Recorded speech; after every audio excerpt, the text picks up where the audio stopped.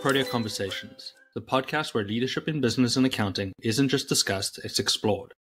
I'm your host, Zane Stevens, and thank you for joining me as we delve into the minds of some of the most influential leaders in the industry.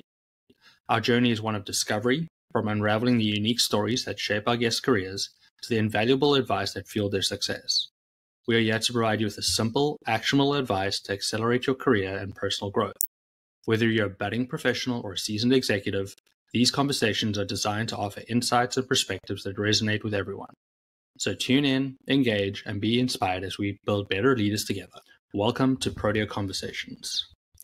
Today, we have Lukas Sundahl with us. Lukas has a really interesting story. He's the visionary behind Accounting Couture.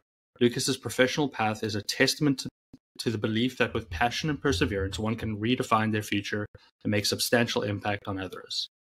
Lukas's career began in the realm of physical fitness regarding his bachelor's degree in kinesiology from the Kansas State University to guide others as a personal trainer.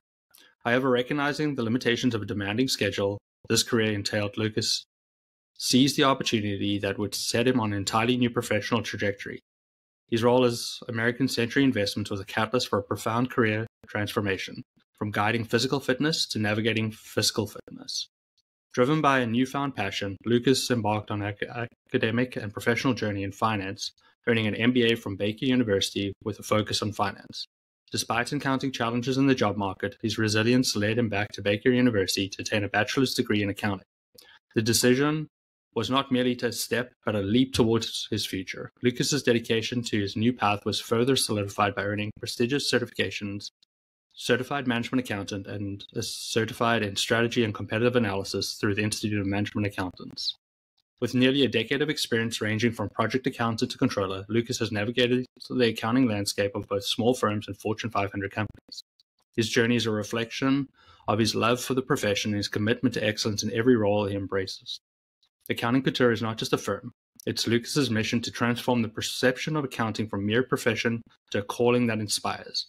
Lukas believes in the power of accounting to change lives and wants to share his passion with the world. Through Accounting Couture, he is dedicated to promoting the accounting profession and supporting aspiring professionals through scholarships for finance or accounting credentials or licenses. Lukas invites you to be part of the movement that celebrates accounting, champions professional growth, and contributes to shaping the next generation for fiscal experts. With Lukas's journey as a blueprint, Accounting Couture is poised to inspire, support, and elevate the accounting profession to new heights. Lukas, absolutely ridiculous. so impressive. And you are the epitome of the person I wanted to interview on Protea Conversations. Somebody that went from one space to another space through hard work, leadership, and just setting such a great example for everybody out there. So welcome to Protea Conversations. Thank you. Glad to be here. It's quite it's quite the story. I mean, it's not often you see professional trainers go, "Shit, I want to be an accountant." So, so t- sort of tell us about that. Like, how did that even even occur?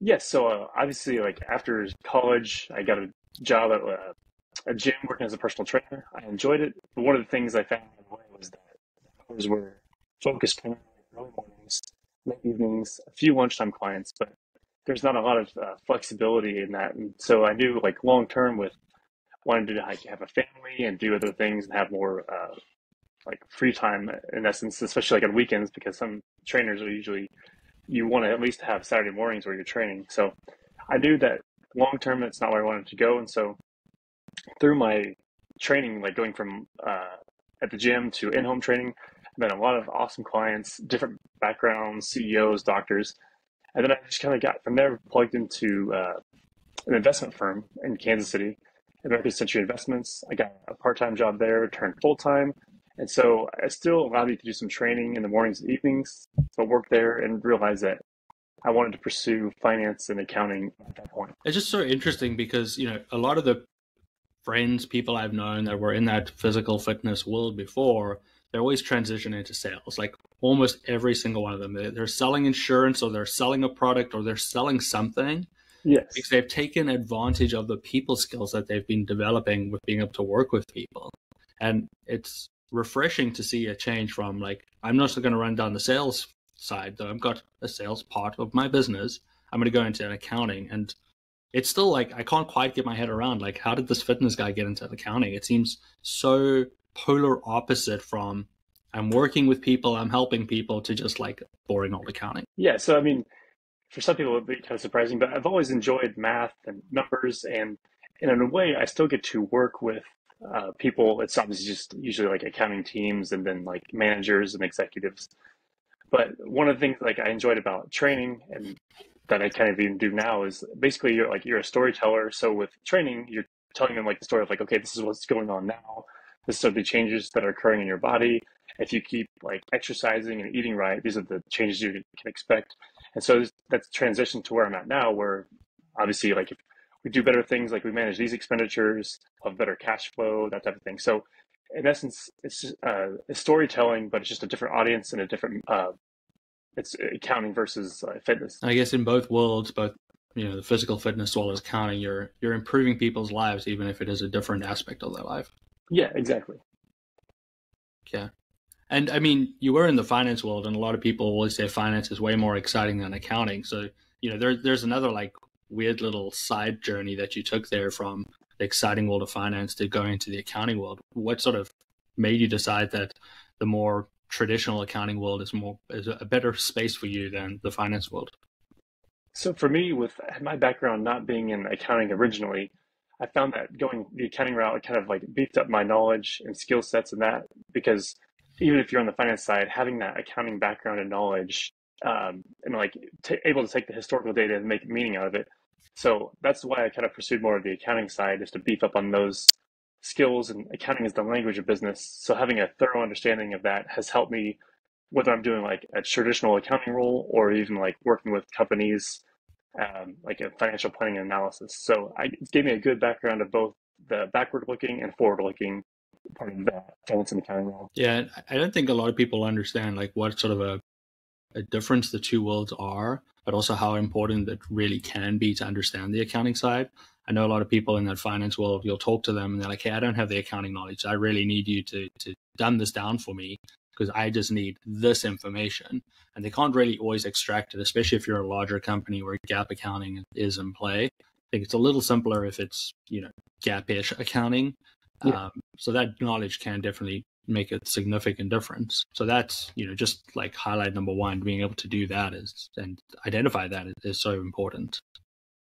So tell us about your company, Accounting Couture, and I know you've got uh, Sunderful Consulting as well and some other ventures, but uh, I think the one that everybody knows you for is Accounting Couture. Yeah, so basically it all kind of stemmed back from the pandemic of 2020. I had a lot of extra time, like offices were shut down, I was working from home and my wife and I had come across like through friends this app called TikTok. People may that have been on longer like may know it as Musical.ly, like in terms of like the app and what it does. But from there, I was like watching these videos, and I'm like, oh, it'd be kind of fun if I could tie in somehow like tie in accounting to that and make some videos that promote the profession, show a fun side of accounting.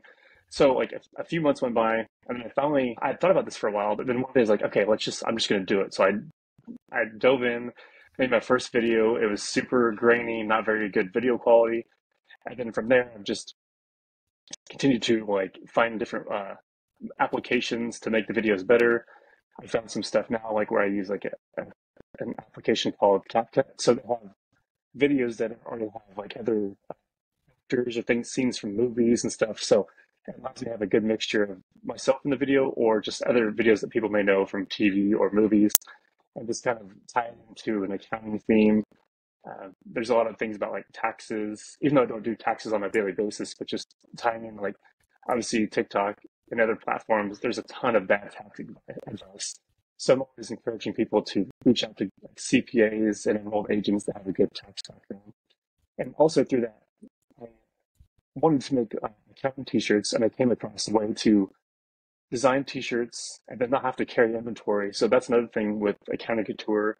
And in some of the videos you'll see is like I wear these shirts that promote like uh, finance, accounting, fun phrases, uh, life with a party, FIFO, you write to party. And so I use accounting acronyms and whatnot to make fun shirts that I sell to people. I've sold like across the world. So obviously like I'm in the US, customers here, but I've sold some things to uh, in Europe and some other places. So it's been fun to not only make videos but also shirts and then have people buy them. I even have some baby onesies that have been popular. So it's cool to see accountants or finance professionals reach out and uh, get these shirts and just kind of showcase the accounting side.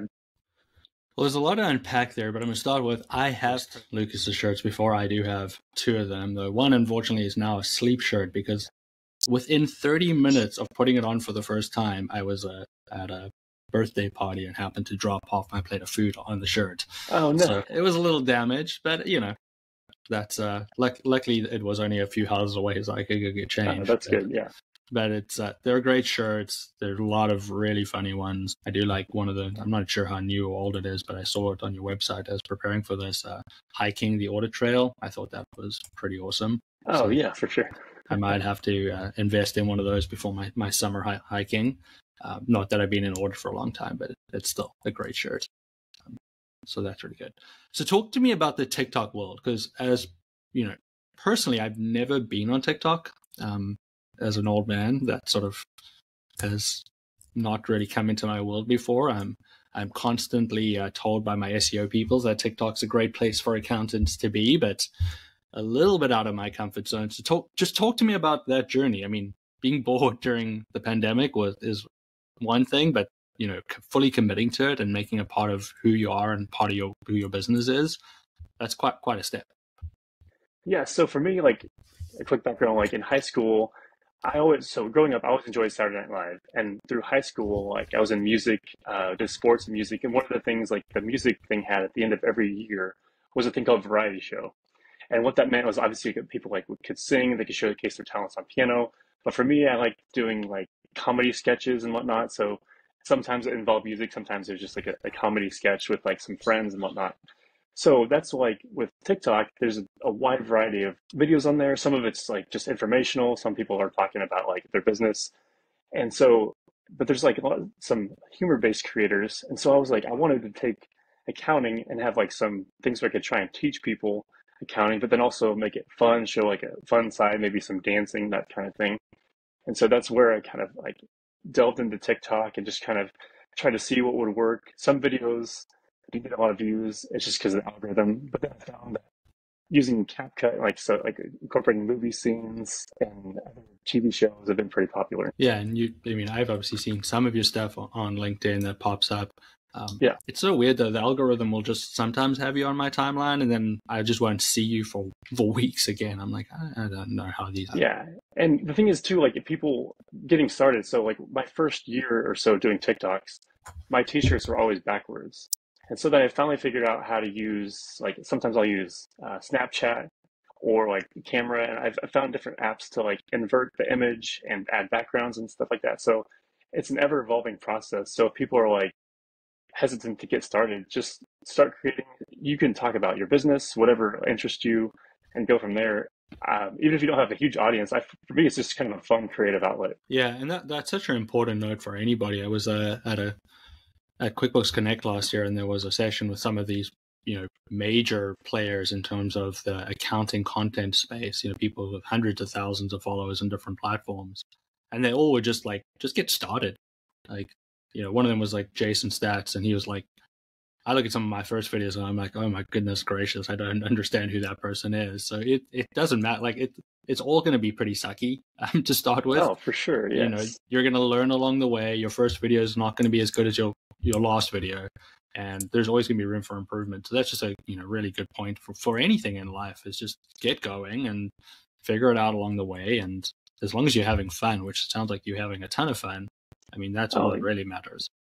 Yeah for sure yeah it's it's a lot of fun and then even throughout the day like different ideas will pop in my head i'm like oh i should write that down. So like i have a whole spreadsheet of different accounting acronyms and jokes that i've come up with that i'll, I'll throw into different videos and stuff like that so it's a good way if you uh, just want to brainstorm, even if you don't make content, just brainstorm ideas to help your business. That kind of thing is also useful.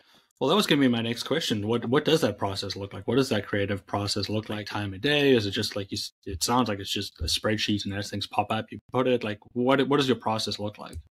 Yeah. So for me, my process is like I, I have a spreadsheet. I've like different times of day, like ideas will hit me, so I'll jot those down. And a lot of times I'll usually make the videos like in the mornings. Um, I'm up early, like working out and whatnot. So some of the videos I'll just, I'll do in the in the morning, or if it's a video that's like a, a template and I'm not actually in the video, I'll do those like like over the lunch hour or even in the evenings, like after dinner, sit down. And now I've gotten more efficient. So when I first started, it like it would take me like 30 minutes for one video, even if it was a grainy video. But over time, I've gotten more efficient, so I could do like even some of the videos with myself and them already knowing like what I want to talk about. I can get it done in like five to ten minutes. Oh, that's really impressive. And you do most of them by yourself? You've got nobody helping you in the background? Yeah, it's just me. So, and that's the other thing too. Some people are like, uh, like, what do I do to get a camera? I'm still at the stage where I'm using my iPhone for everything. So, some people, obviously, some other creators are really good and they have like high quality content. I try and make the best quality content that I can. Everything I use is on my iPhone. So it's either the iPhone camera or other mobile applications. Yeah, it's really interesting. I mean, I just spoke to a, a movie director just the last year and I was like, hey, if we're doing like a video or something, what should you do? She's like, what iPhone do you have? I was like, iPhone 14. She's like, best camera in the world. Use it. It's good enough. I was like, yeah. okay. Yeah, don't have to worry about it too much. Um, yeah. It's probably better than this grainy laptop like camera I'm using as well. But, you know, like you said, just make use of what you've got and, and do the best and have a process. And it's crazy that you're at a point where it's it's a 10 minute process to get a video done. That That's incredible. Yeah, one of the other things that like I found it took me a long time, but when, once I found the TikTok feature where you can add background music and, and adjust the volume levels, that was a complete game changer for me. So there's tons of people like um, on YouTube and whatnot. So if you have like a small issue, like okay, like, how do I do this? You can find ways to improve your video by adding some background music, but have it not overpower your voice. So pretty incredible. So next thing up is TikTok 101 by Lukas coming coming yeah, up exactly. series, series coming through. yeah, that's. Uh, I mean, I just learned the other day on Instagram how to add sound and uh, different oh, yeah. filters and stuff. Yeah, like, wow, that's amazing as well. Mm-hmm. Yeah, well, that's mostly. I mostly play around with it and it looks terrible, so I'm like, oh, I'll just stick to the boring old yeah. videos. Much easier. I'm, I'm, apparently not as creative as I think I am. Let's drop back a little bit. Okay. How long was your career in like physical fit. You have a whole qualification, which is super impressive. So, I mean, there obviously was a point in time where you thought that this was the way you were going to spend your life. Yeah, so I worked full time as a personal trainer for about five years. I've then when I started going back to school, I still did training like in the evenings and the mornings. But yeah, I worked full time as a trainer for about five years. What I initially thought about doing was like eventually getting to where I, like I would own my own gym, that type of thing but even then, even if you hire other trainers, a lot of times you're still kind of managing, and that's still a lot of early mornings and evenings. And so that's kind of what, after a few years of doing that, I realized I didn't want to do that long term. So I started making the shift. But yeah, I, I was a certified, I was a certified strength conditioning specialist. I was also a certified personal trainer to the NACSM. So I had two of the top organizations, like certifications in terms of uh, organizations that certified trainers and that type of thing. So yeah, I enjoyed it, but it just yeah, it wasn't for me long term. I mean, any aspirations one day to go sort of back down that track once you've sort of called it your third career and get back into the physical fitness world? Maybe like I, for me, I guess the closest I'll be to it is like coaching. So right now I coach my two boys in basketball, so I still in a, in a way kind of have a little bit of uh, training aspect. I don't think I'll jump fully back in, but I would love to like just like volunteer here and there, whether it's coaching youth sports or things like that, and give back that way. You still work out regularly? Yeah. So my wife and I are members of a, a gym. It's kind of cool because they it's like a circuit thing set up, like upper body and lower body, and then they have like full body workouts, and it changes throughout the week. So it's a high energy, like good music. They have trainers walking the floor, so you get focused attention a little bit, but it's also where you're not just with the trainer the entire time. So you get your workout done and then go home. But it's yeah, we enjoy it. Yeah, glad you're still able to keep that part of your part of your life going. Oh you yeah, like you look like you're in good shape. So yeah, you know. thanks. Yes, no, I just, yeah, I definitely try and eat healthy, and I definitely value, especially being a trainer, I definitely value eating healthy and exercising for sure. Yeah, you got to stay pretty for those TikTok videos as well, right? Yeah, exactly. Yeah, you stay in shape. so uh, let's talk about the the accounting job, the outside accounting couture. There's there's there's the actual accounting, the accounting role and the services you offer there. Can you tell us a little bit more about that? Yes. So I currently work as an accounting leader for a software company. In addition to that, I have some clients through my consulting work. So I do like some fractional controller, CFO work, some bookkeeping So it's a way to. Um, I just enjoy helping other people. So obviously, I, I yeah, I do get compensated, but I enjoy being a storyteller and helping people like make sense of their financial data. So sometimes people will be like, well, I have a bookkeeper, I'm good. But that's where having like a fractional controller or CFO is taking that bookkeeping data, which is essential to operate your business. But then what do you do with it? Like, how do you forecast? What are your plans for the next one year, two years? So that's kind of something I do with my consulting clients outside of like my traditional accounting role. So you have consulting, you have a day job, and you've got accounting couture where you're making a bunch of videos. Tell us just what your day to day looks like. It sounds like it's it's chaotic, crazy, busy. You got kids, you're coaching, you got a wife, you're working out. Tell us about your day today. Yeah. So one thing I've done, like when I went back to school when I was still training, and I, I, I was like, I was working full time.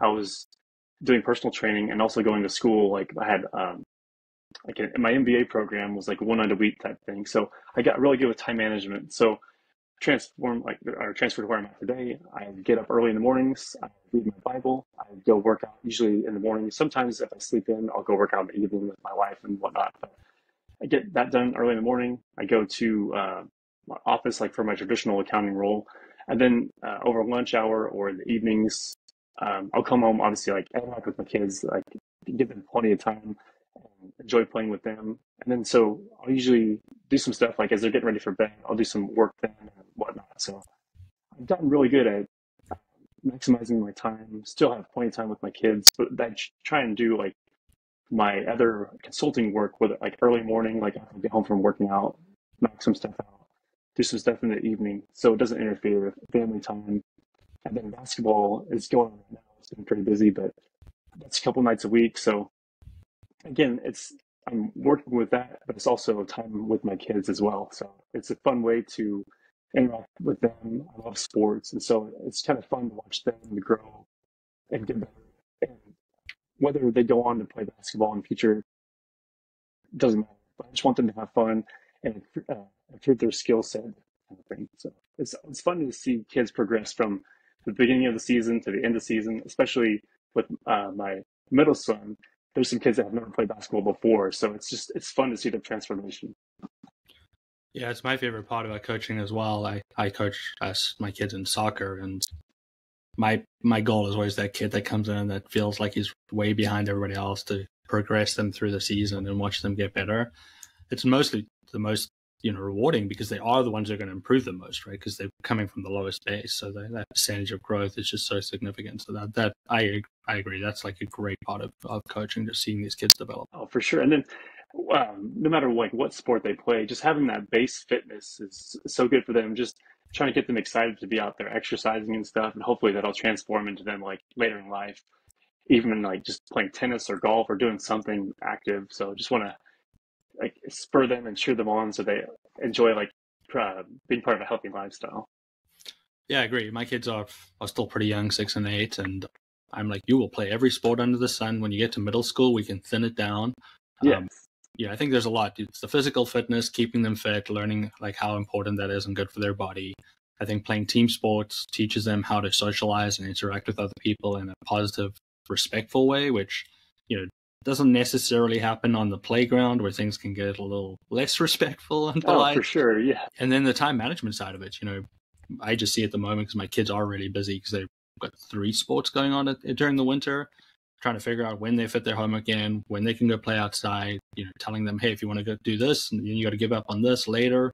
I think there's a lot of good lessons from keeping them busy and active in sports that can, can make a big difference for their their whole oh, lives. Oh yeah, that's one thing I love about the team sports is like the, the team aspect.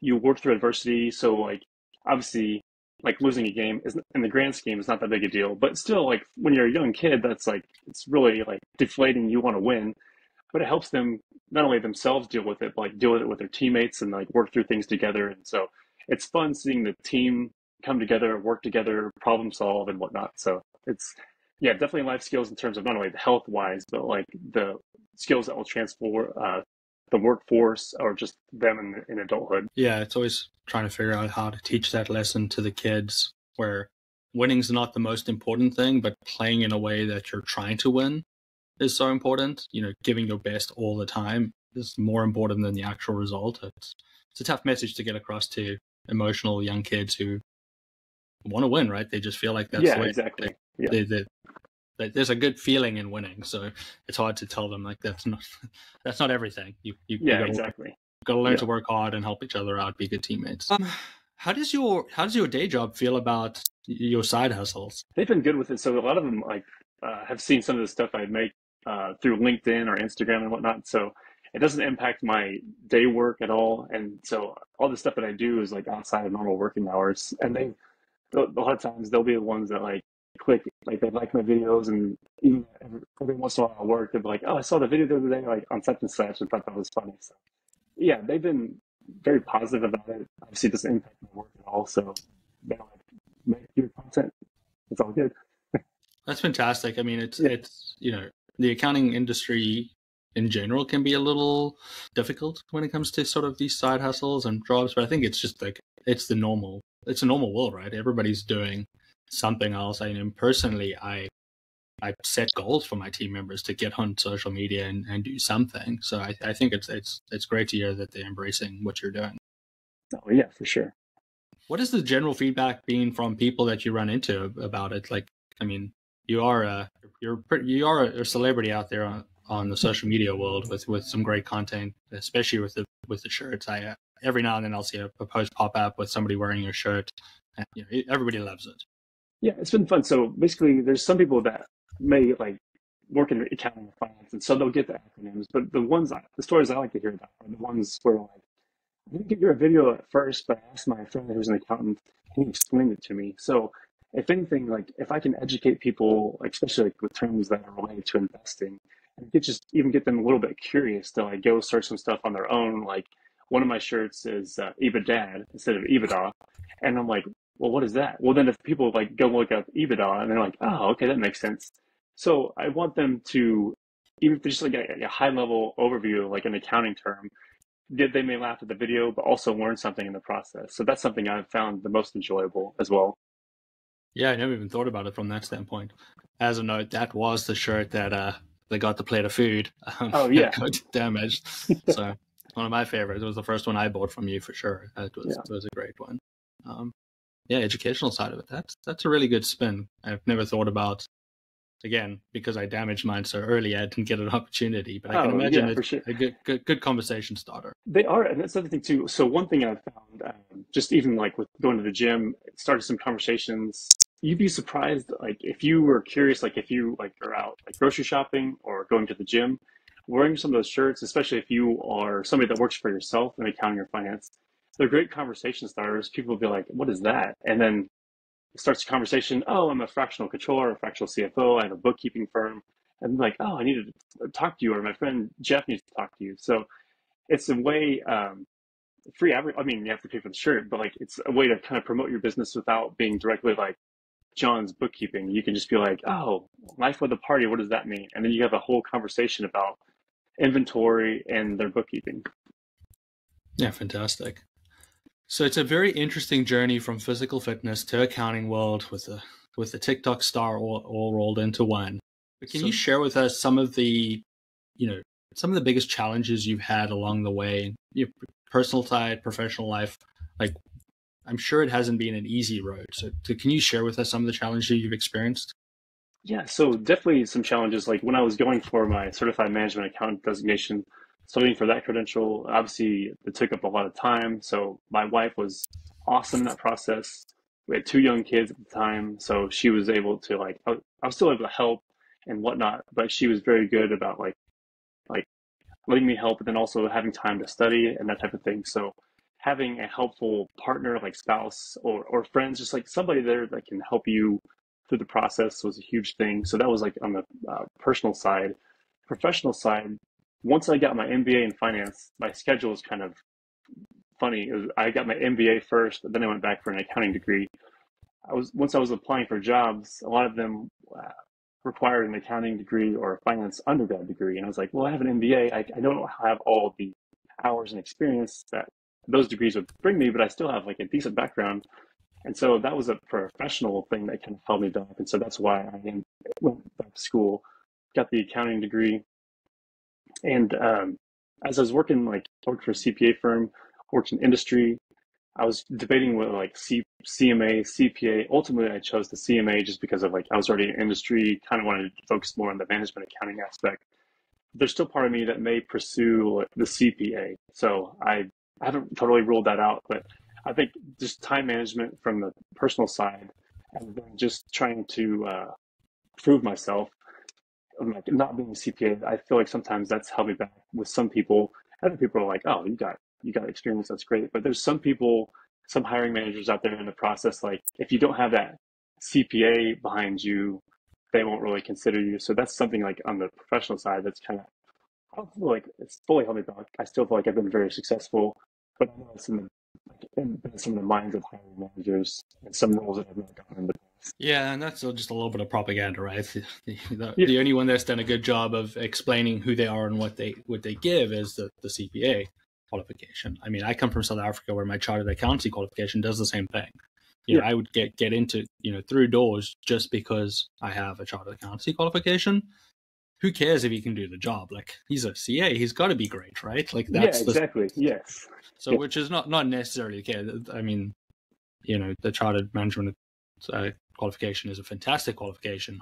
Hell of a lot of hard work, probably harder than you know getting this CPA qualification at the end of the day. So, you know, people, organizations need to do a better job of explaining who they are, what they are, and what they're producing. Um, because there's a lot of great accountants out there that don't necessarily have the credentials or have no desire. I mean, I've been asked multiple times, "You're in the U.S. Why didn't you get a CPA?" I'm like, first, they expect me to write an English test before I start, so that's I'm not dealing with that nonsense. Yeah, yeah. Because I come from a country where English isn't the first language, according English. to them. Yeah. So you know, there's there's all sorts of barriers that can create it. You know, you can just go on any social media and they talk about an extra 150 hours or whatever that is, and that can create all the issues, especially in a world of what is expensive to study. Um, it's not the end all and be all. There's there's other ways to get there, and I know a lot of great accountants that have zero qualifications behind them. Doesn't mean just because they don't have the education doesn't mean they don't have the experience and, and can do a great job. Yeah, exactly. Okay. Let's talk about goals. Where are you taking this? What are your short-term goals for any of the businesses personally? What what does the future look like? Yeah, so with Accounting Couture, I just want to continue to promote the accounting profession. My my goal still is to offer some sort of scholarships. So I recently partnered with a friend of mine. He um, he's a CMA as well. He also is a CPA. He has like a ton of financial financial experience. But basically, we created a CMA study program, like Certified Management Accountant Study Program, to be like a lower cost alternative. So it's what we did. We focused on just building a really good test bank and some textbook materials that people could use to study. And so we just want to grow that course so people can either use it as a standalone way to study for the exam because we have all the learning objectives that come from the IMA for the exam are all there a really good test bank, which I feel like is essential, like whether it's CPA or CMA or any of those credentials, you have to get really good at taking the multiple choice like tests and like really ensure and hammer home that you have that knowledge like built up and that type of thing. So that's one thing I want to continue to grow. So with the Accounting Couture, I feel like that's where I'll focus the scholarship is to kind of help people go towards the CMA study program. That's still a work in process, but I want to grow scholarships, continue to promote the profession for both people that are currently in like high school, encouraging them to go into accounting, people that may want to change careers to accounting. It's a rewarding career. Um, then I also want to show like, I feel like sometimes, especially at the college level, there's so much emphasis on uh, audit and tax, which are obviously very important. But I want to show like the other roles in industry that you can serve as junior accountant, senior accountant, financial planning analysis manager. There's other roles in addition to audit and tax as you get that experience, then you could shift over here and then find different ways to get to accounting manager or FP&A manager, controller, CFO, that type of thing. So that's another objective is just uh, goal is to promote the profession uh, for high school kids as well as people that are like in industry somewhere else and maybe they're in like IT or something else and they want to switch to accounting. It's not quite part of this conversation, but I'm going to jump there anyway we all know that there is a bit of a pipeline issue with accountants coming in the system. We know there's a ton of people retiring. There's not enough people studying accounting or staying in accounting. How do you think we get more people involved? I mean, you've got some ideas, so I'd love if you could just like maybe share one or two, just for the rest of us to sort of get that get behind you a little bit. Yeah. So actually, there's a recent video from Blake Oliver, who's a CPA here in the U.S., and he was talking about on his podcast ways to potentially get people to get into accounting. And one of them, like instead of the 150 hours, is doing like accounting boot camps. And I even posted about that as like on my LinkedIn page. And some people um, were on board with it, and some people shot back like, "Oh, you need the hours," and and then they're like, "Why wouldn't I want somebody to do surgery that's never like had experience?" But my whole point is, this is just to get them in the door. They would still have to take the CPA exam. They would still have to prove themselves like in the fundamental knowledge. This isn't like some weekend boot camp and you're like, oh yeah, now you can do accounting.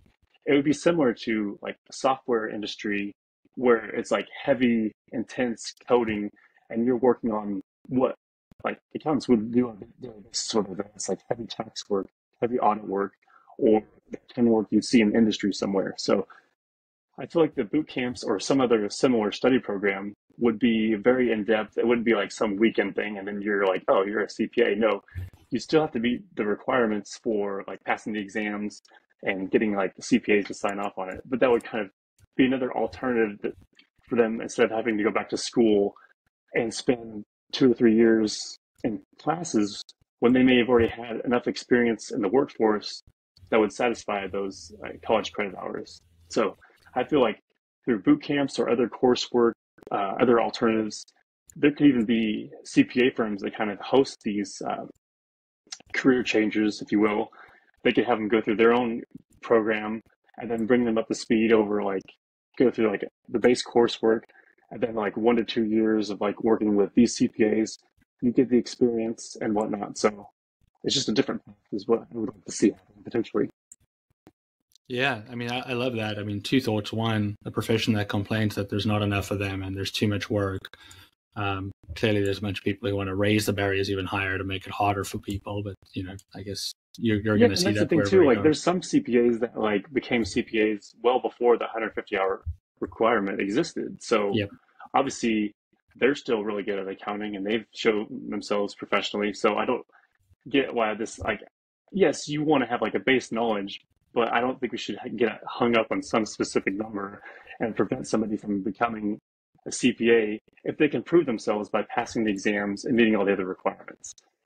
Like that's that our requirement isn't like oh you can just get hundred dollars instead and don't have to worry about passing the exams. You still have to meet those criteria.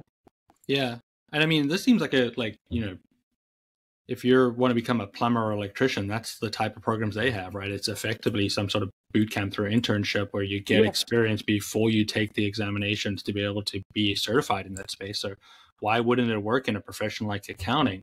I mean, anybody can, can become a bookkeeper nowadays. You know, getting certified for to be a QuickBooks certified person is not very difficult. You just go watch a bunch of marketing videos and then you take an examination on the marketing videos and you're certified, right? It's not yeah it's not tough. So why not create a program where people get really good experience from really smart people to set them up so that you know the people that are coming in from the fringes are getting good experience they're good accountants and uplifting the community rather than sort of keeping it at a mediocre level yeah it'd be like an apprenticeship which i feel like those have kind of just totally gone away but that those have obviously in the past been very successful. So you bring on an apprentice and then they're like in the weeds right from the beginning versus just studying like theoretical concepts in a book for a year or two and then actually then going applying it.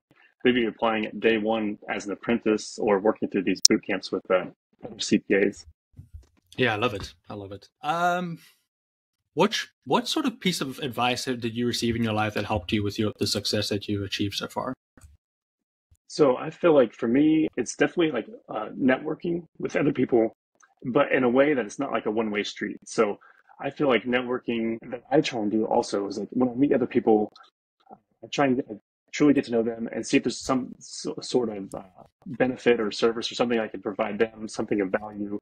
And then maybe down the road, they have something to help me. So I feel like networking is a huge thing, but look at networking as a two way street. So it's not just like a give me, give me, give me. Like, what can you all like? What can you provide to other people in your network that they can find valuable? So, if you were in accounting, maybe you help some people that are like in IT or other fields, like even with some basic accounting advice for their business and whatnot, and just have a, a symbiotic relationship.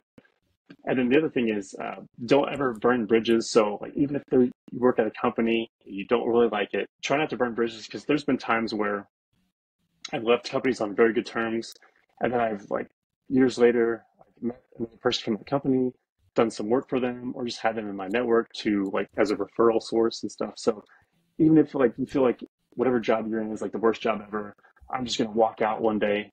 Try not to like try and make it the best you can until like while you're looking for something else. But always try and leave um, a job or role on good terms because you never know when you run into that person again or somebody they worked with. And if you burn some bridges, it could not be good for you in the yeah, long term. That, yeah, that's some really great advice. Uh, one, I would say everybody should go read the book, uh, The Go Giver. We'll get some really good oh, good. Yeah, that's a great book. Yes. Yeah, really great advice on symbiotic relationships and how giving will lead to more receiving, uh, which is yeah. wonderful. The other one is there's another accountant that I know. His name is Britt Summerhill, and uh, he's a now CFO. And he sort of taught me that when you go into a one on one meeting with people, always try figure out how you can refer them to somebody from that phone call. Uh, so keep your sort of black book open and figure out what would be a good connection for them in terms of service provider, potential referral source. And what is even more special that he does is when he gets on a phone call with a potential client, his goal is to walk away with an introduction to at least three other professionals from that call for that person, even if they're not going to become a client, so that there's some way to help them as well as help his network potentially grow their, you know, their businesses as well. And that sort of constant networking with the idea of giving uh, can make such a big difference. Um, because hey, I'm going to refer something to you if you're a person who generally gives. You know, it's just the way human nature works. Yeah, exactly. It's it's it's fun to give and help other people. That's one thing. Like even like as a trainer getting paid for it or an accountant, I still, I, even when I'm compensated, there's still things I try and provide others and try and give them value and that kind of thing. So uh, I try and go above and beyond and provide as much value as I can, no matter what I'm doing. Yeah, that's great. So, if we had to go back in time, what advice do you wish young Lukas had received out of his career? That's a good question. Um, I wish that somebody would have told me early on, like, hey, you're switching to accounting. I think you should do both the CPA and CMA. So obviously, the CPA may still be in the cards for the future, but I feel like anybody that um, like starting out in accounting, I feel like the CMA is very valuable. But I feel like if you partner that with like a CPA, it's just uh, or like like, like in the U.S. Other countries, the chartered accountant and CMA because the CMA like is a global credential. So I feel like if you have a credential that's in your like country, go for that and pair that with a CMA or like if you want to do auditing or whatever else, just pair those two together. I feel like that'll help you with job prospects and that kind of thing. So um, yeah, we're somebody would kind of really kind of like, hey, I think you should really go for the CPA. I'm happy where I'm at now. I still may do CPA, but I feel like that would have been a good thing to do even just a few years ago. Yeah, it, it, always feels like from everything I see online, you know, about becoming CPAs and all of that, there feels like there's a big need for better mentorship and sort of career planning for people that sort of feel a calling to the accounting space to really understand what's available to them and what what would that path actually mean to their career. Um, so I, yeah, that I think all of us could do with a little bit of better guidance. I mean, I mean, I got into accounting because I was in high school, was got good accounting grades and was good at math. So they're like, go do accounting, you'll be amazing. Oh and yeah, went, there you go. Yeah, and I went to a course that was like the most like vanilla ever. It was uh, BCom accounting for chartered accountants. You know, okay. no electives. I just went in, yeah. studied, did my undergrad, postgrad work, went and worked for an audit firm, became a chartered accountant. Super easy, but it's not that simple anymore. Those types of you know single focus routes don't really exist, and as we're finding out, most people's uh, career journeys are are not very linear. There's there's there's some twists and turns along the way. So Lukas, you are obviously a leader to the community. You're a leader in the accounting space, showing us all how it can be fun. You're a leader out there coaching your kids on the basketball court. What advice would you give listeners in terms of being better leader to the people that look up? Yeah, so I feel like one thing that would help leaders be better in their role is especially like as you progress in your career and have more like experience, like work experience, life experience, is just to find people that you can help mentor. And in the process, you could you can still learn a ton of information that will help you as a leader grow, but then you'll impart your knowledge to younger leaders and just kind of just perpetuates. And so you're helping yourself, but you're also helping them.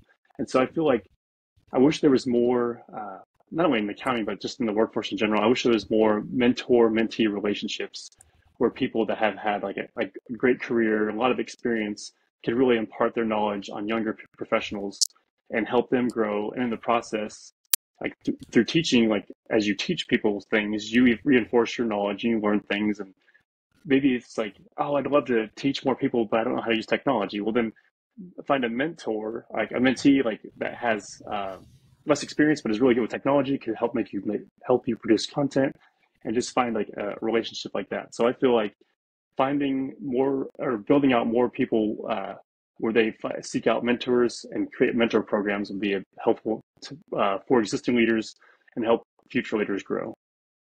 Yeah that's great advice. We're also scared of sharing our knowledge because we feel like we're going to be replaced but yes we all get better if we share the knowledge. We uplift each other, and who knows what you can learn from those people that you're supposedly teaching. Yeah, exactly. I feel like um, even in like where the places I've worked now, there's still that like silo mentality. Like, ah, if I let them know this knowledge, that'll like hurt me. But I feel like the more you impart your knowledge on other people, it just helps you even more so. So whether it's like you free up more time for strategic planning or other things, imparting your knowledge not only helps you but helps other people as well. Yeah that's great. So you've shared a lot about who you are as a person uh, from your faith to your workouts to your wife to your kids to your coaching. Is there anything else that you just love to share with the audience? Something interesting about you that will give us the insight as lukas the person. Yeah so for me i enjoy uh, being creative and whatnot. So when i originally went to college the first time around even though i finished with a kinesiology degree I had majored in art for a while. So I enjoy creating designs through Canva, graphic design. Obviously, there's people that like that's their full time role, but I feel like it's somebody that doesn't do that much and just kind of dabbles in the in uh, as an accountant. Uh, that's one thing I enjoy. So people may not know that like all these shirts on Etsy and different places are all shirts that I've designed. So it's kind of a fun way to let my creativity out, not only with the shirt design, but also the content and the video production and whatnot. So I enjoy making people laugh, and so I'm not going to be become a stand-up comedian by any means, but I enjoy making stuff that will brighten people's day, uh, help them laugh, that kind of thing. Yeah. So just for everybody out there, not everybody's a boring accountant like me. Yes, most, exactly. most of the rest of them are uh, are really interesting and have this creative side to them. So that's amazing. Uh, Lukas, we like to end our conversations with some rapid fire. So if you're ready, I have questions for you. Yeah, I'm ready. Great. What is your dream vacation? So my dream vacation, um, any any kind of beach. So I love going to the beach with my family. So it doesn't matter where it is in the world. Just uh, I love a good beach vacation. You got to pick one. What what's that beach? Oh, that's a good question. Um, I so I feel like somewhere in the Mediterranean. I haven't been in that area of the world, so I feel like a Mediterranean vacation with my family would be ideal. Yeah, sounds like a great choice. Do you prefer audiobooks or paper books? So that's a really good question. I prefer paper books, just like I feel like that turning the page and the sense of accomplishment, watching your bookmark move towards the end of the book. Uh, I definitely use and leverage audiobooks a lot, but for me, just having that physical book is something I enjoy. Yeah, there there is something special. I like uh, going to secondhand bookstores and, and looking for something fun fun to read. Oh, yeah, okay. Yeah. yeah, that's always a great way.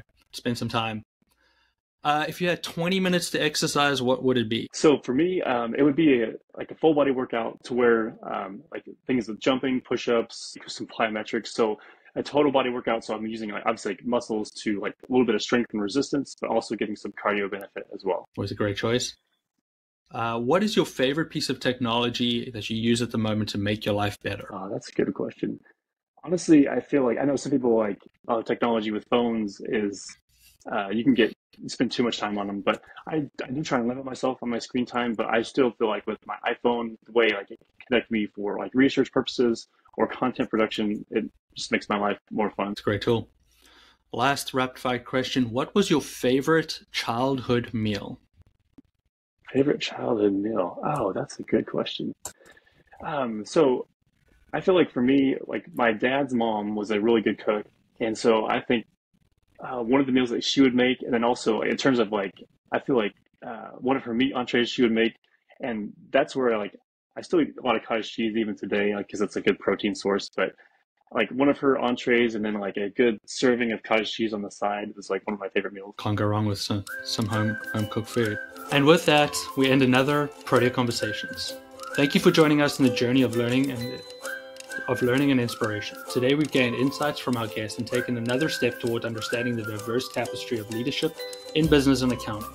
Remember, each conversation is a step towards the positive transformation of business leaders. We hope our discussions has given you a valuable takeaway to apply to your own career and life. Don't forget to subscribe to Protea Conversations on YouTube and Spotify so you never miss an episode. We'd also love to hear your thoughts and experiences, so connect with me on my social media channels. I'm most active on LinkedIn and would love for you to join the conversation. Join us next time for more engaging stories, advice, and conversations that matter. Until then, keep striving for excellence and embracing growth. Thank you for listening. Be kind, and goodbye from Protea Conversations.